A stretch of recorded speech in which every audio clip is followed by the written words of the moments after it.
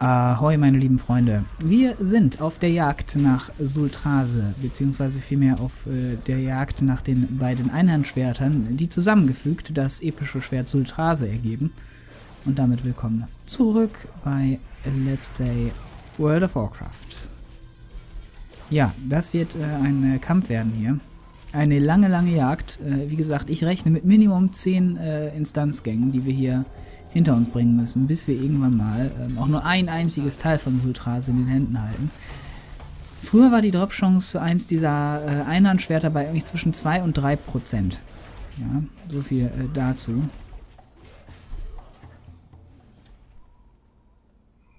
Also da steht noch richtig viel Spaß aus, Leute. Das kann ich sagen. Das ist auch noch ein scheiß Hunter, ey. Ja. Boah, ey, diese, diese Magier, ne? Der Arkan Mage, der zieht Agro wie Buddha. Das ist richtig widerlich.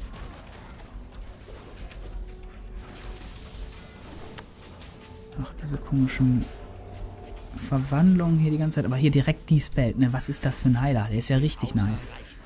Richtig OP. Der Heiler ist richtig gut.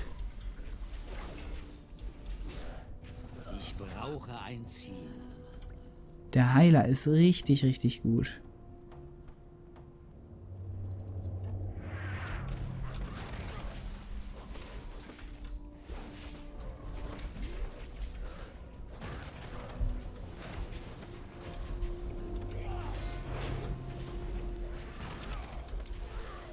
Der Heiler, meine Güte. Selten selten so einen guten Heiler gehabt. Auch die Gruppe insgesamt. Richtig gut, weil Sulfarak ist eine Instanz, die hat Vibe-Potenzial.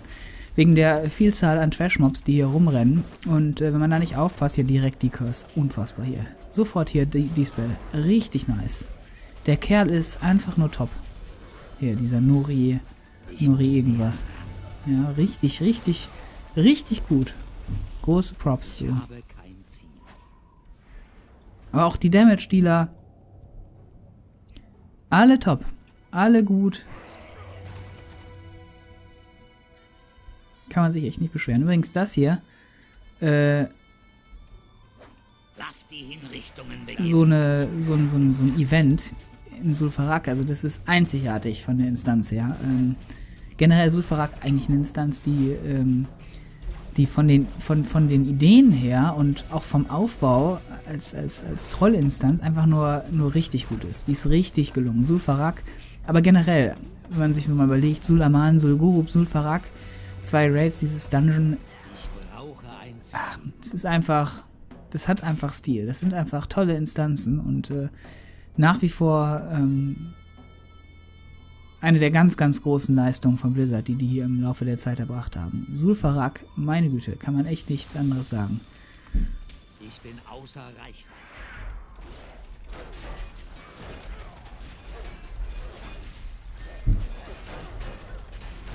Das ist zu weit entfernt.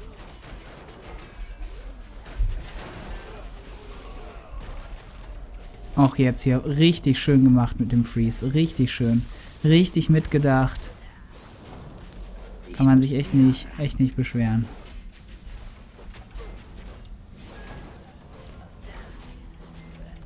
Meine Güte, ist das eine... Ich komme gar nicht mehr aus dem Schwärm raus. Merkt ihr, ne? Richtig klasse Gruppe. Junge, Junge. Selten sowas... Also ich glaube, von allen Dungeon-Gruppen, die ich hier bis jetzt hatte, ist das die beste Dungeon-Gruppe. Von allen. Mit Abstand. Vom Schaden über die Heilung, übers Targeting. Alle gut, alle gut. Richtig, ein richtiger Augenschmaus. Ich habe kein Ziel. Ein richtiger Augenschmaus, richtig schön. Wenn wenn so ein Honor-System wie in League of Legends gäbe, Leute, ich würde die instant alle honern.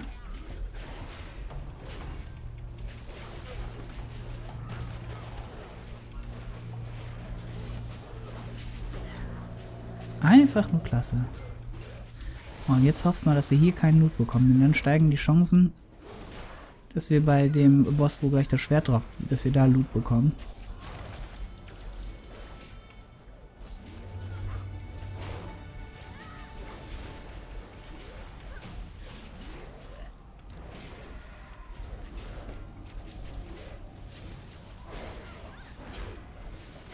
Ich brauche ein Ziel. Ja, scheiße. Leider bekommen wir hier Loot. So, der Kerl muss das Tor aufsprengen. Kommt bald wieder. Seid gegrüßt. Schönen Tag. Jetzt prügeln wir uns mit dem Blei.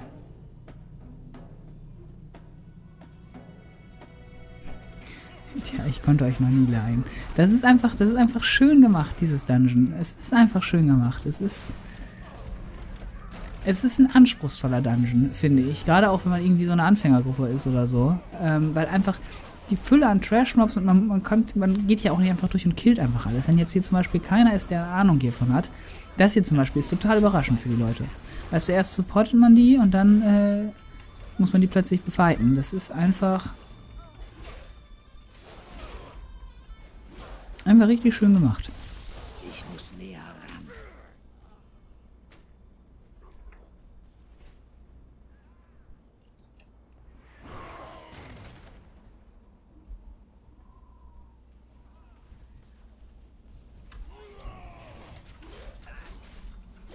Ich habe kein Ziel. Richtig schön gemacht. Und der Heiler. Einfach nur. Absolut. Ja, klar, er hat Level Gear, aber Nevermind. Das heißt. Das heißt längst nicht. Ich bin außer Reichweite.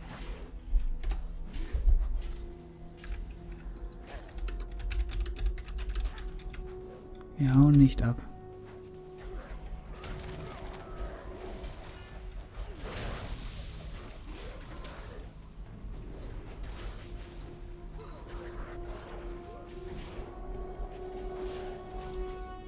Ich verstehe, warum er erst den anderen Boss machen möchte, weil ich hier gleich, äh, weil wir es hier gleich theoretisch geschafft haben, aber da hinten geht's ja noch weiter.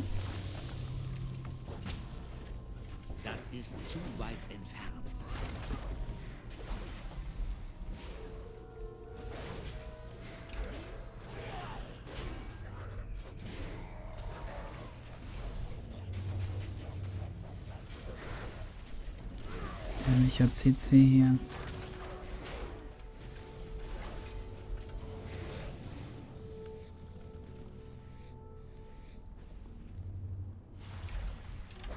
Kommen auch alle vier auf einmal, ne? Ja.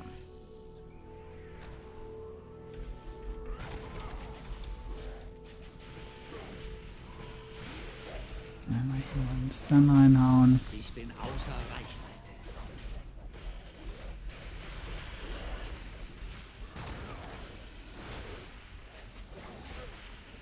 Kann man doch auch Kirschlern, oder? Das sind Wildtiere. Eigentlich müsste man die Kirschlern können.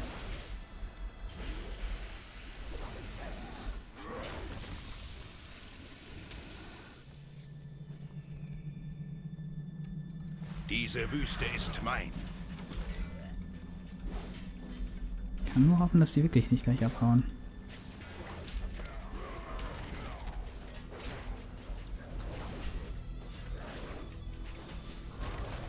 Bitte droppe die Waffe. Bitte droppe die Waffe. Please. Die Sandwüter herrschen über alles. Oh, kreuzt die Daumen.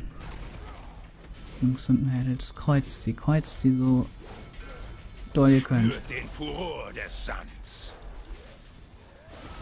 Sprüche, die der sagt, sind auch schon immer seit Anbeginn der Zeit gleich.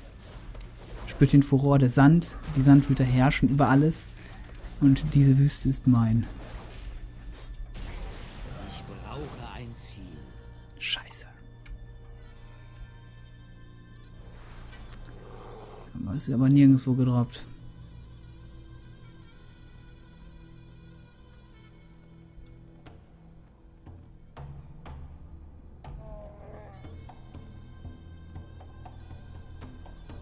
Richtig ätzend.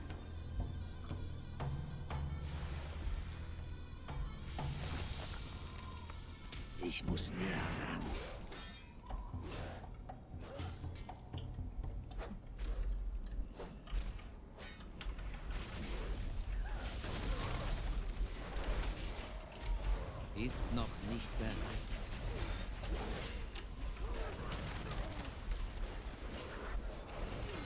No shit.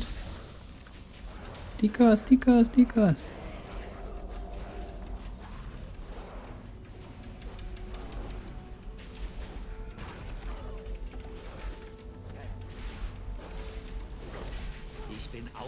Das war ungünstig. Habe ich es unterbrechen können? Nee, ne?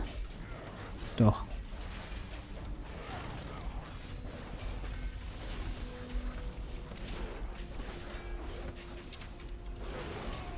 Wenigstens gibt es hier die ganze Zeit schön Wut. Ich muss näher ran. Obwohl ich hier keine Waffe bekommen habe. Nichts von dem Loot, den ich haben wollte. Bin ich wirklich doch zufrieden, wie der Dungeon hier gelaufen ist. Ich muss näher ran. Oh, dieser dämliche, diese dämliche Verwandlung, ne? Ich brauche ein Ziel. Ist auch richtig ätzend. Das ist zu weit entfernt. Das ist auch so eine Sache, das kennst, weißt du auch nur, wenn du, wenn du die Instanz schon kennst, ja. Es, weil, du, weil, weil, weil eigentlich ist die Instanz jetzt abgeschlossen, aber du kannst halt hier noch den Gong hauen. Früher war es so, dass du diesen Gong, diesen Gongschläger, noch extra äh, in der Quest äh, dir besorgen musstest.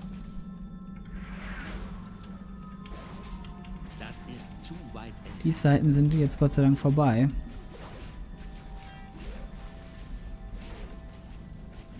Ich habe kein Ziel.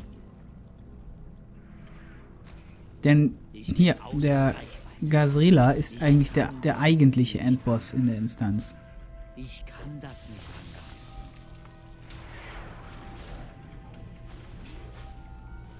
angreifen. Ach, sogar noch mehr Heldentum. Ja, jetzt haben wir hier natürlich Problem. Oder auch nicht. Scheint niemand zu kommen.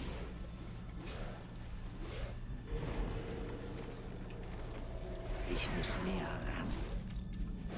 Ich bin außer Reichweite. Oh, der, der Fury-Dings, ne? Der meine Güte, der macht einen Schaden.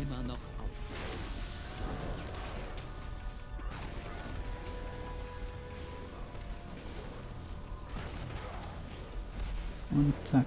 Und Instant Dispel.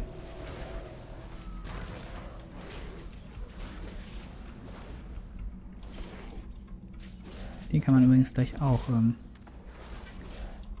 auch, äh, kirschnern. Ich brauche ein Ziel. Glaube ich. Oder? Nö, geht nicht.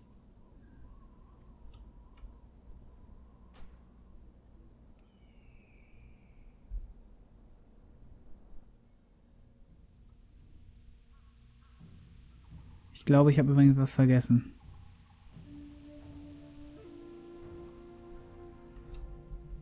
Oder? Nö.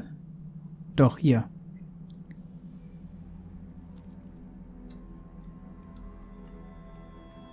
Da war noch einer.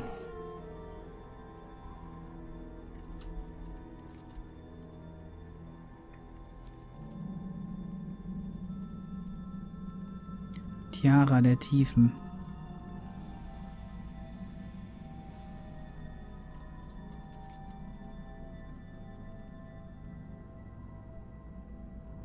Egal. Nevermind. Hol ich mir. Ich muss ja hier noch oft rein. Heißt, wir kriegen ihn mit Sicherheit nochmal demnächst. Weil eine Quest fehlt jetzt hier definitiv noch. Wir den Boss hätten besiegen müssen.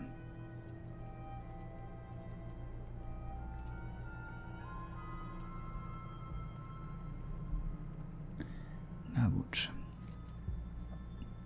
So. Zorn der Sandhüter. Die Sandwüter sind ein widerstandsfähiger Stamm. Sie haben Sandstürme überlebt und über die Jahre hinweg noch ganz andere Sachen, die inzwischen längst vom Sand bedeckt sind. Es wäre dumm zu glauben, dass die einzige Macht hier die Trolle sind. Wir haben Skarabäen gezähmt, Zulitus gezüchtet und unsere Toten wieder aufstehen lassen, damit sie bis in alle Ewigkeiten als Zombies kämpfen. Ruselu, die rechte Hand von Häuptling Ukorts Sandskalp, hat vor, mit ihrer Hilfe Tanaris für die Sandwüter zurückzuerobern. Ihr solltet die Trolle, die dafür verantwortlich sind, töten. Wenn ihr leben wollt, Mann. Töten, hat er gesagt. Töten. Sehr schön. Häuptling Ukorts Sandskalp.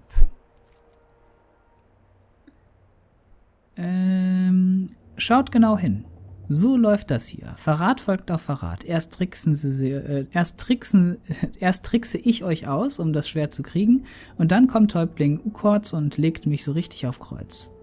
So ist das Leben, ja. Oder war es? Naja, ich weiß, dass ihr Masogar gar nie nicht leiden konntet, aber ich weiß, dass ihr trotzdem äh, macht, warum ich euch bitte tötet. Warum geht das immer wieder zurück? Ähm, tötet ihn für mich, vergießt noch mehr Blut auf dem Sand und gebt Häuptling Ukort Sandskype, äh, äh, was alle Sandwüter verdienen.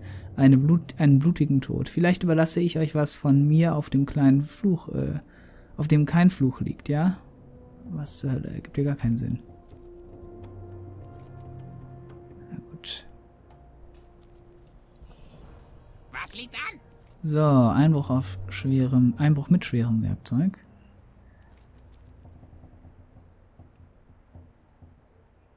Ein guter Kumpel von mir, Wegli, Lunte, hat sich mit Unteroffizier Blei und seiner Gruppe Gesetzloser zusammengetan, um in Sulfarak einzumarschieren und das legendäre Sultrase zerbeuten, die Waffe, die ich auch haben möchte. Natürlich haben sie den Stamm der Sandhüter unterschätzt und jetzt sind alle äh, festgesetzt und warten auf ihre Hinrichtung, um den Halbgott Gazrilla zufriedenzustellen, den wir auch erledigt haben. Wenn ihr Wegli befreit, wird er euch helfen, den Weg zu Ukorts Privatgemächern freizusprengen, wo er mindestens äh, einen Teil der Klinge aufbewahrt. Tötet Nekrum, den Ausweider, und Schattenpriester Sessis, äh, die ihn gefangen genommen haben, als Rache. Ich werde euch belohnen. Bleibt gut drauf. Na gut. So, liebe Leute. Da ist mir doch äh, aus Versehen ähm, nochmal Outer City ausgegangen, weil ich aus Versehen äh, ausgemacht habe. Aber ich wollte auch nur noch sagen, ähm, dass wir uns bei der nächsten Folge äh, wiederhören, dass es äh, das an dieser Stelle gewesen ist. Und äh, ja, macht's immer gut, wir hören uns wie immer und äh, ciao.